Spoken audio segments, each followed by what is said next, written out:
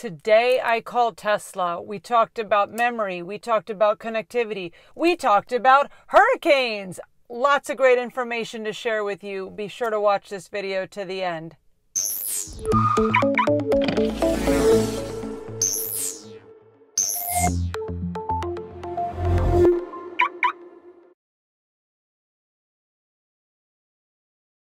Welcome back to Teslucky, the YouTube channel where you can follow the adventures of Lucky the Tesla. I am really excited to share the learnings from my call to Tesla today. But first, as it relates to our channel, if you already love Tesla, if you're thinking about buying a Tesla, or if you're just curious about electric vehicles in general, please subscribe to our channel, Teslucky, and click the bell for notifications all of our videos are Tesla related.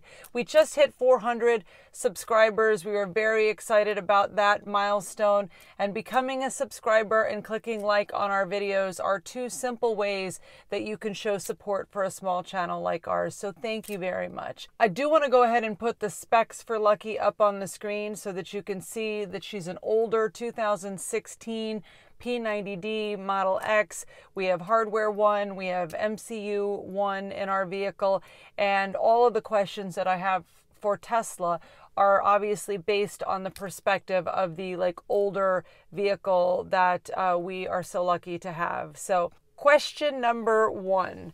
I asked about hurricanes because there is a hurricane headed to Florida as we speak. Uh, right now, the Florida Keys is sort of outside of the uh, cone of danger, but the hurricane is still headed towards Florida. And I was just sort of curious what recommendations uh, Tesla has for uh, vehicle owners uh, when hurricanes are coming. So, you know, Tesla doesn't have any like real um, specific preparation documents uh, that they share on their website or any information in the manual. The representative today did tell me and confirmed that you know damage from flooding and wind associated with hurricanes is not covered in the warranty. He didn't really expect it to be.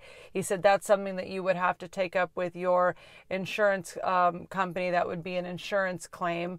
Uh, but uh, I specifically wanted to get some details from him about the flooding and the battery because we all know the battery is on the floor, the you know bottom of the vehicle, and uh, Tesla's you know right a little bit low to the ground. So I wanted to know how much clearance there is on the battery from the ground in case we wanted to like try to elevate Lucky in our garage here in Big Pine Key by like driving her up on some like sort of ramp system. Um, we were here in for Hurricane Irma back in 2016. Was it 16 or 17? 17. 2017 and we had two feet of water in our garage. So obviously, that would be a situation where a storm that bad is coming. We need to evacuate Lucky. But I was just trying to see what the what the clearance is, and this is what the representative told me that, you know, in Lucky the Model X, there are two settings as far as the suspension is concerned. We have regular and we have low as it relates to the two uh, settings for the suspension. Now, in the regular setting, there is nine inches of clearance between the bottom of the battery and the ground.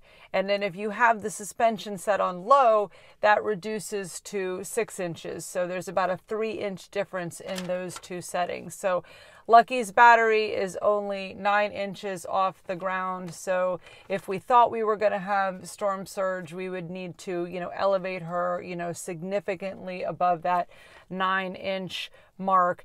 What I was thinking about doing, which I don't think we're going to actually have to do for this particular hurricane, was to drive her to a parking garage and park her on the second or third floor of a public parking garage and just pay for parking as, you know, cheap Tesla insurance. That's something that we would do if there was like a tropical storm or maybe a hurricane category 1 headed to the Keys. If it's category 2, then we're getting lucky as far away from the uh, hurricane as we could. But I thought that this was really great information about the difference between the regular and the low setting and the um, clearance with the uh, battery. I also asked, do the superchargers work if there are widespread uh, power outages due to a hurricane? This isn't question number two. This is sort of like question one, sub question A or B. Usually my questions are multiple questions in one. But uh, the representative said that the superchargers definitely work during times of power outages in that are widespread, you know, due to natural disasters like hurricanes, that they have a Powerwall that is used as like a generator backup at the superchargers. And if, let's say, you know, Orlando is uh, like completely out of power for like, you know, entire county and there's superchargers uh, in that county. Not only will they work, but they will work at the same speed that they do under normal conditions. So if you are evacuating a hurricane in your Tesla or dealing with the aftermath of a hurricane with power outages, you do not have to worry about the superchargers uh, working for you. I thought that was great, great news. Okay that covers everything related to hurricanes. Um, I will also say that uh, if anyone has any other insights in um, on this topic, to go ahead and leave them in the uh, comments below. Would love to hear people's experiences evacuating hurricanes, dealing with the aftermath of hurricanes. I did actually also do a Google search just to see what would come up on this topic, and I will show you here on the screen. This this is interesting too. I almost forgot this. I'm glad I didn't. Charge the Tesla to 90% the night before leaving and increase it to 100% shortly before leaving so that the charge reaches about 100% uh, or reaches 100% about the time you are ready to leave. Charging while evacuating um, with supercharging, Tesla's network is the simplest, fastest way to charge once you're on the road. So charge it to 90% and then bump it up to 100% as close as possible before you leave for your evacuation. So, luckily, we're not going to have to do that here uh, for this particular storm, but I'm glad to have that information for the future. Okay, let's move on to question number two.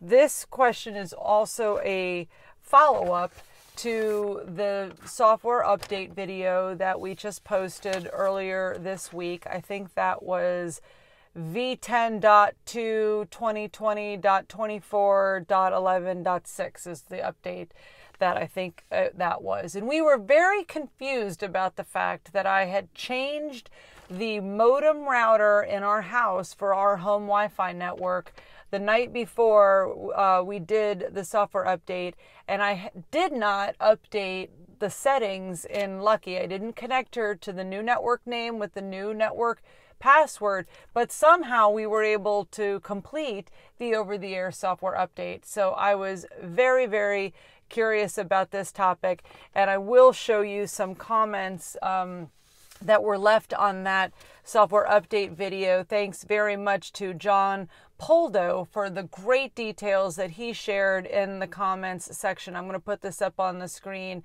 He gave me some clues that led me to the question that Tesla gave me some great details on. First of all, John writes here, your software update probably was downloaded via Lucky's cellular service or download prior to your modem router change. And then you can see in the comment below, he goes on to add a lot more details about the premium connectivity with the Teslas, which is a topic that I really didn't know that much about. Um, I went ahead and did a Google search on this as well. It talks about now how Tesla offers premium connectivity, uh, connectivity as a uh, subscription that provides the capability to access all of the car's multimedia features over cellular. Many Teslas, including Lucky, I was able to verify this on our account, are already grandfathered into having premium connectivity for the lifetime of the vehicle. Is it connectivity or connectivity? I think I'm just saying connectivity because I've been looking at like hurricane cones on the uh, internet every uh, three hours to see what the storm is doing. Uh, this Google search also from Tesla.com uh, had a great document here with some more details. I'm going to put a link in the description and reference uh, some of these uh, as well in the question. But uh, what I was able to learn from the Tesla representative, he was able to go into the system and see that we installed that latest software update at 5:18 p.m. on July 28th but that the download started at five, at 4:54 p.m. the day before uh, on the 27th, and it took until 2:18 p.m the following afternoon on the 28th for that software to come down. So the representative said that based on the fact that it took almost 22 hours for that software upload to uh, software update to download to Lucky, that he was certain that it was due to Lucky connecting with the premium uh, connectivity package and the you know the cellular to get that uh, update. This is not the recommended method. They highly recommend that you are attached to your home Wi Fi network and not a hotspot either. Hotspots can be problematic with software updates, um, so I'm told. But anyway, based on the duration of time it took for this download to come, there's no doubt that we got lucky that the uh, um, update the si- file size you know must not have been you know tremendously large although it was more than just bug fixes so it did have a little something something in there. And that's how we got the uh, software update without being connected to the wi-fi. Uh, i'm really grateful to john for putting this information in the comments because like i said it also led me to this tesla document so that i could learn more about this uh, topic Connectivity is an important part of all Tesla cars, further enhancing the driving experience by providing access to features that require data usage, including streaming media and music, live traffic visualization, and more. Uh, it goes in to say that if you have a Model S or a Model X that was ordered on or before June 30th of 2018, you have that free premium connectivity. It's uh, connectivity. Uh, the word is going to plague me. I'm, I'm going to have to move on to the next question so that I can stop saying connectivity. Um, it helps with the satellite uh, view maps. It's required for in car streaming music and media over cellular, which is something I do all the time. And um, you can log into your Tesla account to see if you have the connectivity package or if you need to purchase it if you're interested. Um, it shows here. Uh, anyway, great details in this uh, document link in the description uh, below. Question number three is related to the memory in the Tesla. And this question is inspired by a comment left on our recent mobile service appointment video by a gentleman named John Dunnigan, who is a dear friend of Teslucky because he was Carly's very first ever Supercharger Social Time interview. If you haven't seen John's interview, make sure you go back to Carly's playlist of her Supercharger Social Time interviews and look for the first one. Hi, John. So, we mentioned in the Tesla mobile service appointment video that the Tesla representative had suggested clearing out the former um, road trip odometer, uh, the trip odometers, clearing those from time to time, and also going into the navigation system and clearing out old destinations from time to time, doing that, and then resetting the Tesla with uh, the pressing on both of these scroll wheels on the steering wheel. So on that video, John wrote the following comment. I'm going to go ahead and put it up on the screen. Did he say why you should clear out your memory and what the double wheel press does? What does the car use it for if not to remember your searches and trip meters? And wouldn't it make sense for there to be a clear all button for those things? Um, first of all, I've done a little bit of this clearing out of the old um, searches in the navigation system, and I think a clear all button is one of the best ideas I've heard in a long time. And so, John, I am definitely going to send that suggestion to feedback at tesla.com. I think that would be an easy fix, and I would love to see that come through in a future over the air software update. But on today's call with the Tesla representative, I did ask them, like, I explained the feedback. Uh, and he said um, that it was good suggestion and i said well what is the benefit to doing this with um, the memory. And he said it basically just makes everything like run smoother and run faster. And he gave the example like, you know, any phone that doesn't have a lot of space left or a computer, it's got like lots of applications open lots of big documents running and it's just using up all the memory. Things tend to like freeze up or just go like sluggishly you know that sort of thing he, he did give an example of another uh, customer that he spoke to who actually did like so much searching in the navigation system on road trips that he maxed out the memory in the GPS and it just wouldn't actually like search for locations anymore. He said that's rare, um, you know, but it can happen. The representative from Tesla also suggested doing that double pressing down on both the scroll wheels on the Tesla wheel to reset the vehicle. He recommended doing that proactively uh, once a month. So I'm going to go ahead and start doing that. Now, as it relates to this memory, issue. I'm going to do a little science experiment here. First of all, I'm going to show you the process of removing the searched uh, locations in the navigation system. And I'm going to put in a destination uh, before doing that and then after it. And we're going to time it and see if it's any faster. So I'm going to kind of show you the process right now and we'll see if it makes a difference. So let me show you in Lucky's screen here that I have actually deleted quite a few of our old searches. Right now I'm back to October 2019 and I just have had so many searches that I was deleting them. And then I got the idea for this experiment, so I went ahead and stopped. So, what we're going to do is we're going to put in a location, a far away location, into the navigation system, and we're going to time it here on Carly's iPad. And then we're going to see how long it takes. And then I'm going to go back and delete all the rest of the um, searches and I'm going to do the double scroll wheel reset and we're going to do the same search and see if it's faster. Okay, are you ready for this? This is like really like high science uh, going on on uh, TesLucky. Uh, so the first search that we're going to do, I'm going to hit start here.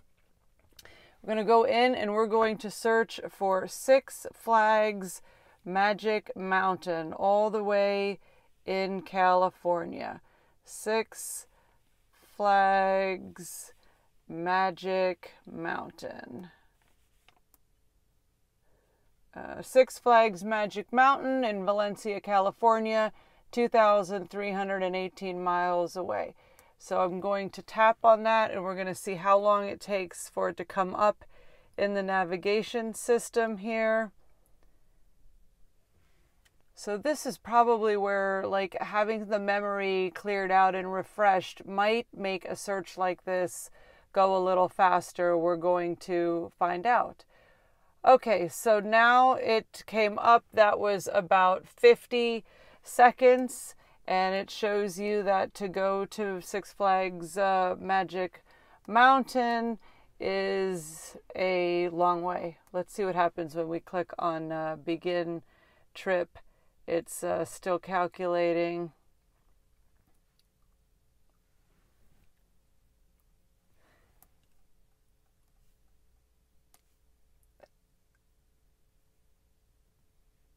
Defuniak Springs. We love Defuniak Springs. All right, so let's see. It's still calculating. This is a long trip, though. I think this is a pretty good example, and we'll see if uh, doing this experiment with their memory, you know, makes uh, much of a difference, if uh, if any difference.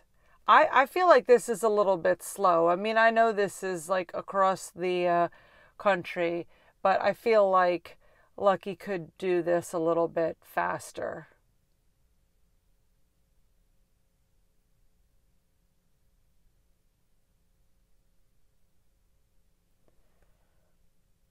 Okay, we're still waiting for Lucky to go ahead and um, start this trip.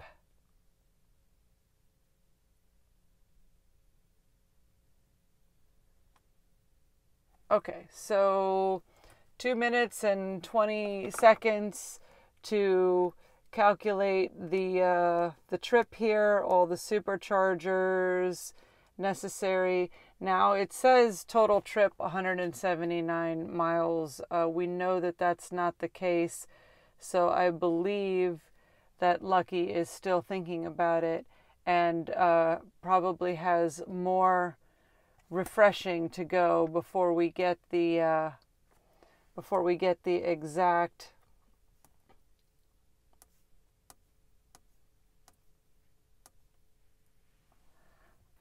all right, I want to see a total trip that uh, makes more sense than 179 miles, three hours and 15 minutes. I wish we lived three hours and 15 minutes from Six Flags Magic Mountain.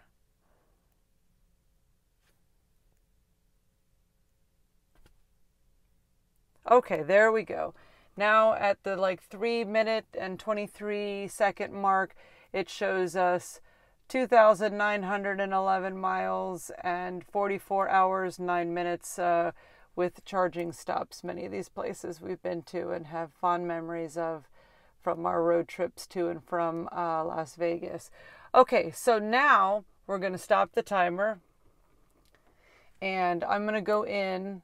I'm not going to make you sit here and watch all of this, but I'm going to go in and one by one, I'm going to swipe all of these searches until we have no searches. Okay, that took me a little while. I literally just swiped a few hundred, hundreds of uh, search destinations in the navigation system because I have a tendency wherever I'm going, even if I know how to get there, of using the navigation system just because I like the data. I like to see what the battery uh, ch- uh, charge will be when I arrive at my destination and how long it's going to take me to get there and all of that. Uh, so, anyway, so now you can see that the navigation uh, recently searched locations has been completely wiped clean and now I'm going to go ahead and press on I can't reach it without putting the phone down but I'm going to press on this button and this button and hold them down at the same time to reset the uh, computer in Lucky. Okay, I just finished doing holding those scroll wheels down for the reset. So Lucky's touchscreen went dark. And then once we get that back up, we will try our experiment uh, with a new timer. So we're going to reset the timer to nothing. All right, so it took almost two minutes to reset the touchscreen in Lucky, starting the timer. Six flags, magic, mountain, Valencia, California. Pulling up the map, calculating route.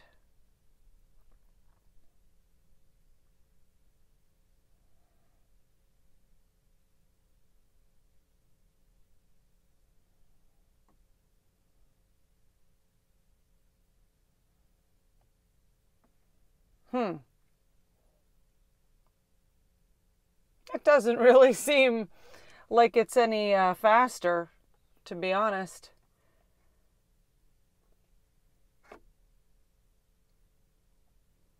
Mm, no, I would not say that it's uh, faster. I actually think it's like slower now. All right, but let's click on begin trip and see if this part is any faster. Now that wheel is spinning pretty good. I don't know, maybe it just took Lucky a little bit to wake up here. The wheel definitely spinning faster.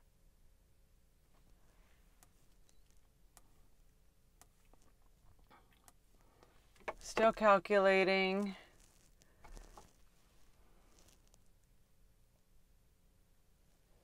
Here's where we are on the timer. And now just waiting to see when the total trip mileage comes up.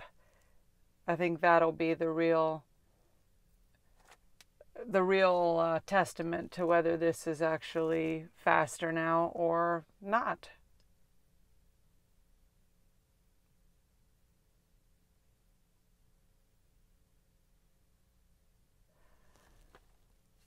All right, calculating route. And interesting, we're at that 107. Oh, okay. You know what? Two minutes and uh, I would say 13 seconds. It was over three minutes before. So it does look like it was a little bit uh, faster, just a little bit. And that leads us to the bonus question Carly really wanted me to ask this question. She asked it during the filming of our software update video. And when she knew I was calling Tesla today, she's like, don't forget to ask my question. So, the bonus question today Carly wanted to know if it's common for the touchscreen in the Teslas to get cracked. So, this is what the representative had to say about that. He said glitches are much more common than cracks. He said the most common issues with the touchscreen are pixelation issues. We actually had one of those and had our MCU replaced uh, in Lucky when we were in Las Vegas. That was a previous uh, Tesla mobile service uh, appointment. Uh, so pixelation issues are just not turning on are the most common issues. He said the touchscreen is very strong. He said it would be very difficult for like a human being to like hit it with like somebody's elbow and like crack or break the screen. He said it would be you know, it really would need to be more of an intentional situation. I mean, obviously, if you take a hammer to the screen, the screen's going to crack, right? He said if you're loading like you know, long pieces of like two by four wood into the car and you like inadvertently like hit the screen, it'll crack. But he said in most cases, it's just like a human body like accidentally hitting it or their purse hitting it or something like that, it would uh, withstand that uh, pressure. So, pretty strong screen. And Carly, just so you know, it's pretty rare for it to be broken, but I still ask you to be very, very careful and treat Lucky every inch of her uh, as precious as she deserves to be treated, okay? So be careful. Mm. Thanks for the question, Carly. So, those are my learnings from today. I welcome your comments. I'm learning so much from the viewers of TesLucky in your comments. I, we appreciate that so very, very much. If you would like to watch more TesLucky, I'm going to put links up in the top corners for number one, our most popular video ever, which is our road trip from Florida to Las Vegas. And I'm also going to put up a playlist of all of these today I called Tesla videos. If you want to learn more from my prior calls to Tesla, go ahead and click on that playlist. Thank you for watching TesLucky. We'll see you in our next video. Safe travels, everyone, and be safe out there in the world.